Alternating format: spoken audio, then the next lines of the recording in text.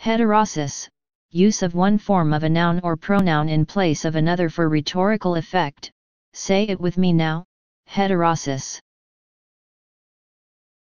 Please subscribe and thanks for watching.